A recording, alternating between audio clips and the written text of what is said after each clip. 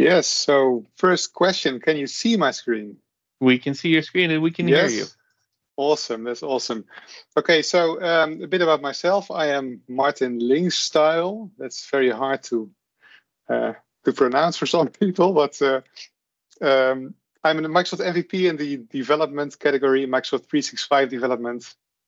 I'm also a Microsoft 365 architect at a fantastic small company in the Netherlands called i4U Business Solutions.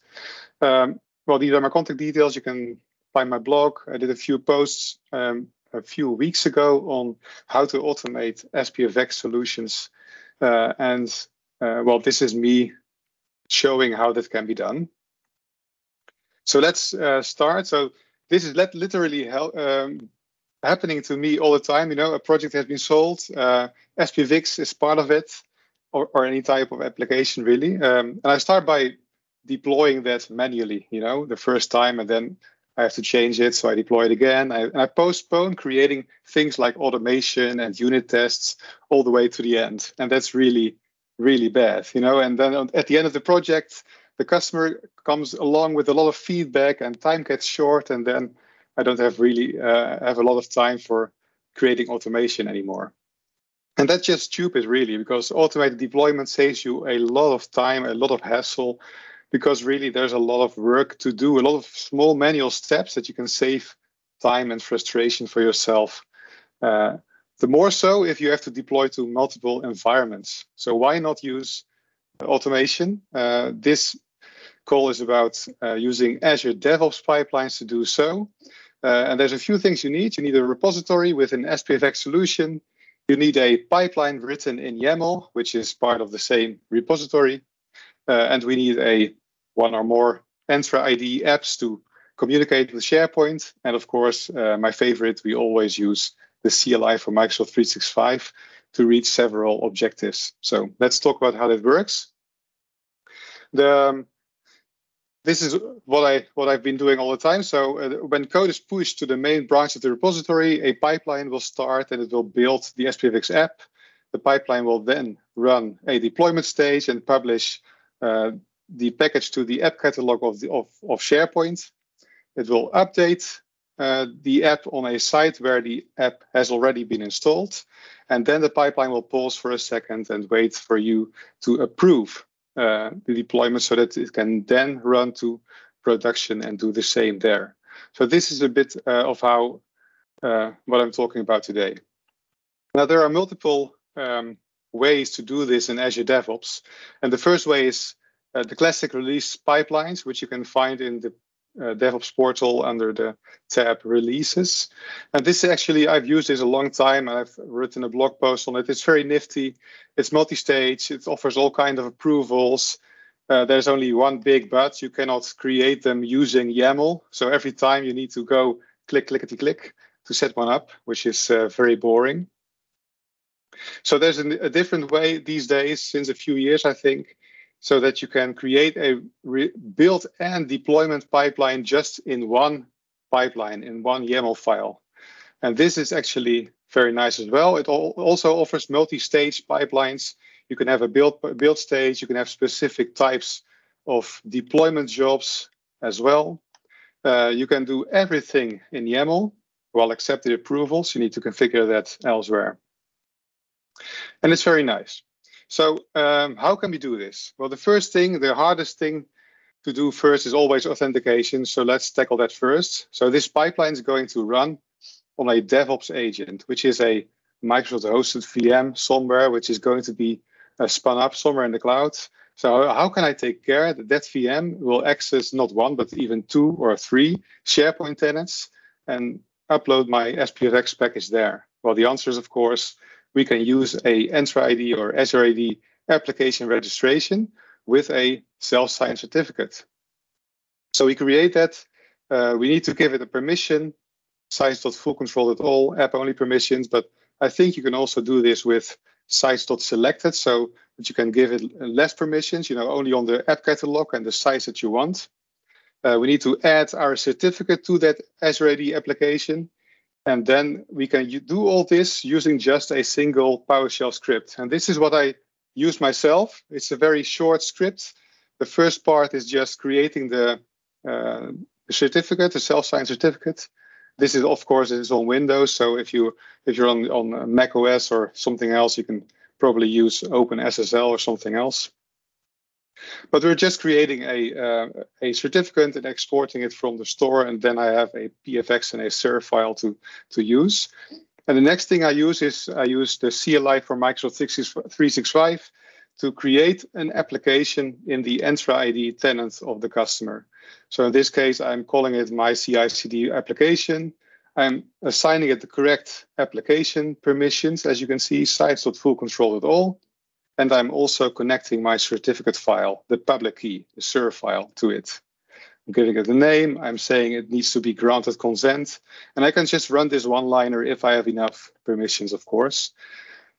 Uh, and I do this twice. So in our scenario, uh, we're using a acceptance tenant and a production tenant, which has two separate SharePoint environments, also two separate Entra ID tenants. So I need to create two apps and two certificates and then write down the details. And this is what you will get, just a very simple application with nothing, nothing special, just a uh, container for your permissions in the tenant that you're working with.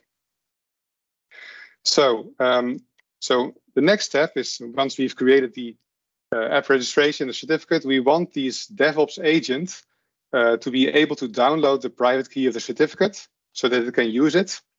Uh, we wanted to have access to the tenant ID and the app ID of the applications that we have just created so that it can use these information to connect to SharePoint across the world. Okay, this is what, what we want to do. So to do that, we have to uh, stuff the variables in a Dev in DevOps library, which is a section of your DevOps project, which can contain variables and uh, files. So for our purpose, I'm always creating um, variable groups, and the var variable group can contain multiple variables. As you can see, I have one for acceptance and for production. The variables are the same, but with different values. So as you can see, I've got a, a few basic variables that can be used to connect to SharePoint. I'm using the certificate password, uh, the, the app ID of the app registration, the SharePoint base URL, which is also important, which I'll explain in a moment, and the tenant ID.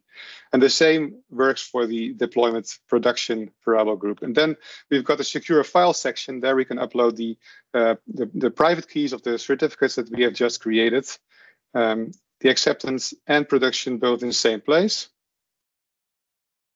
Uh, the next part, as we are already in the DevOps portal busy, uh, so we can uh, create our some environments as well. We need to do that at the start.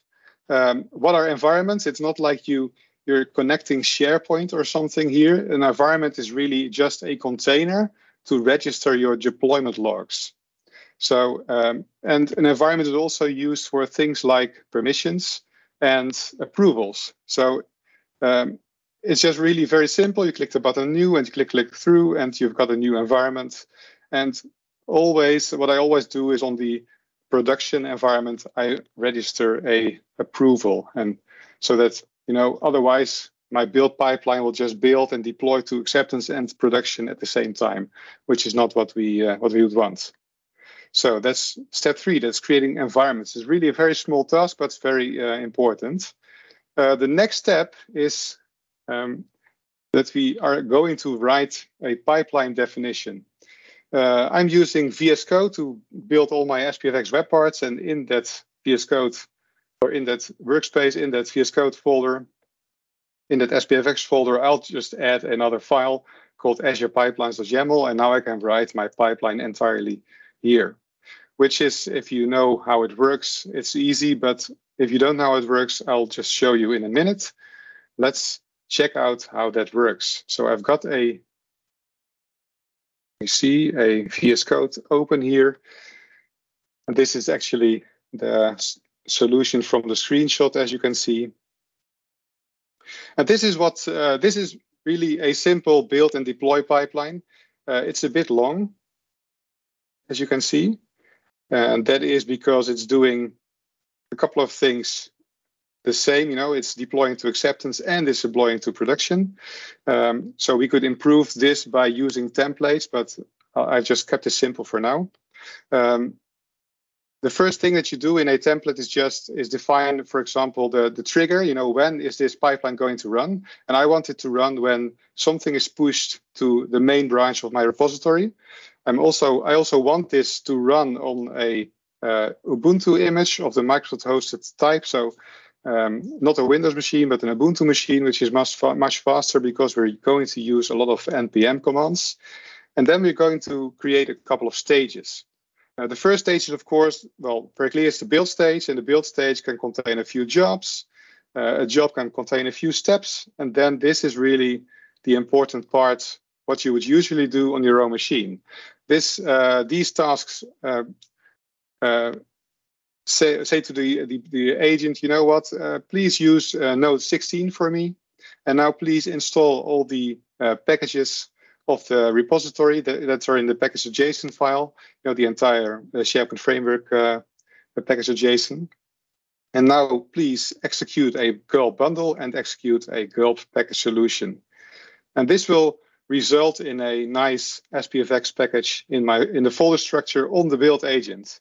Uh, the last two steps are really important. This is like what you're saying here is please copy that SPPKG and copy it to a, an artifact staging directory. And now please publish that artifact as a named artifact. And if you've done this right, you, you can download um, you can download the SPPKG after every successful build and just do with, with it whatever you want. So that's the build pipeline. This is usually what we create. Um, after this, the stage ends, and now the new stage starts. And this is the release to acceptance stage. And this stage has a condition. It will only run when build has succeeded. And now, and now it starts to become interesting. You can see I'm referencing a variables group here, which is the variables group I've created before, the deployment acceptance group. And referencing this group here will, will, uh, will help me to use all those variables that I've created there uh, in my pipeline. Um, I'm starting a job, and this is a specific type of job. It's called a deployment job. And the deployment job will target the acceptance environment, just like I've already created. And now there's some boilerplate here about a deployment strategy. There are multiple strategies that, that you can use. I'm just using the most simple version, which is a run once deployment. And there are a couple of build steps in that deployment, and this is this is the, the core part of it. It will first download a secure file. This is the, uh, the, the certificate that we've uploaded to the secure file section. And it will again select nodes. It will install the CLI for Microsoft 365 because that's the tool that we're going to use to deploy this app to the SharePoint tenant. And then uh, the next step is just a script. It's a bash script, and as you can see, it's uh, it's calling the Micro 365 CLI to log into the tenant using a certificate, and it's using the secure file path of the downloaded PFX file. And it's using the certificate password that's coming from my uh, variable group.